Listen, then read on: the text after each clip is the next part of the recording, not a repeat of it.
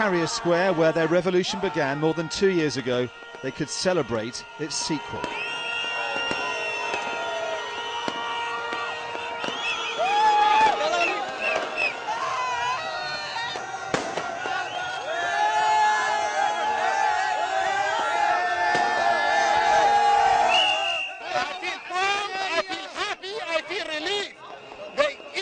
Has changed a regime, a very fascist regime, multicultural regime, hopefully a democratic one.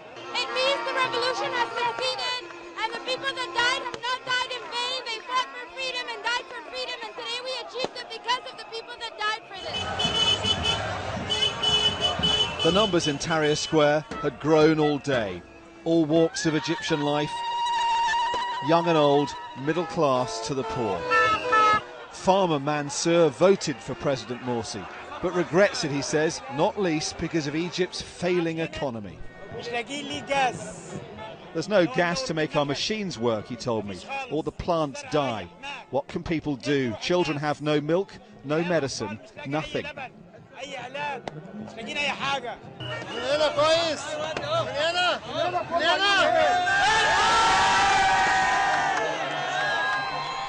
They'd come to relaunch their revolution, accusing their elected president of hijacking it, and seemed confident of victory.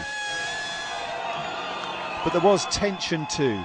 Despite the support of the military, they were uneasy about what President Morsi's supporters might do next. We're all worried about what the Brotherhood is going to do because they will not let it easy to go from their hands and their supporters are ready to do anything. I'm worried about the Egyptian people who are dying every minute, and I'm worried about the injuries and the blood that we're going to see at night. By night, though, people were only celebrating their revolutionary encore.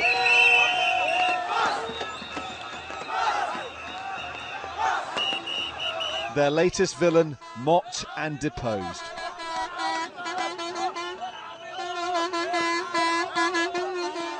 Second time in two and a half years, the Egyptian people have thrown a hated leader out of office.